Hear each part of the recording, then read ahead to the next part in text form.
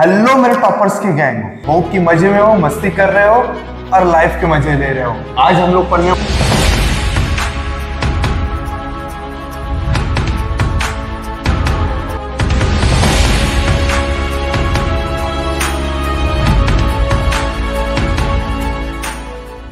Hello बच्चों, मैं अमिताभ देवगन लक्ष्य से, और हाँ मैं वेलकम कर रहा हूँ मेरे टॉपर्स के गैंग।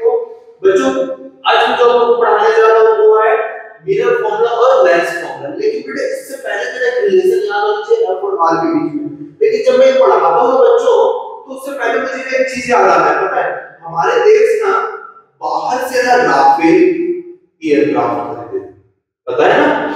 राफेल। और दूसरा चीज़ मुझे पता चलता है कि बहुत फ्यू है। अच्छा किसी ने बोला कि स्पेलिंग गलत है?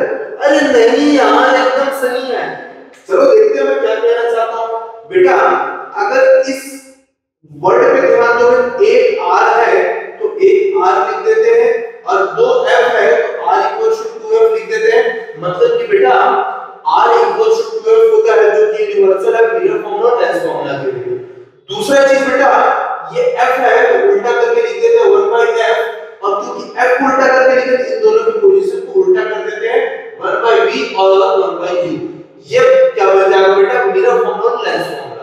लेकिन हमने बनाई क्योंकि बीच में प्लस और माइनस आएगा।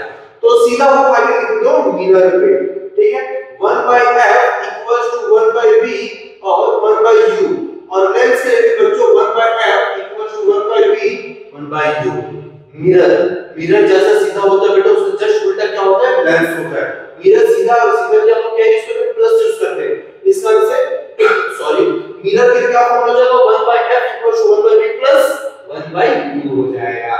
और लेंस लिए क्या हो जाएगा बेटा उल्टा मैंने बोला इस कारण से माइनस हो जाएगा 1 by f 1 by v 1 by u हो जाएगा।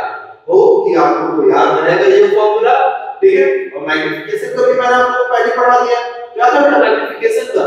तो मैग्निफिकेशन का था m equals to minus v by u equals to h रेस अपॉन h इसके लिए बच्चों, ये मिरर के लिए, और लेंस के लिए क्या था? m equals to v by u h रेस by h.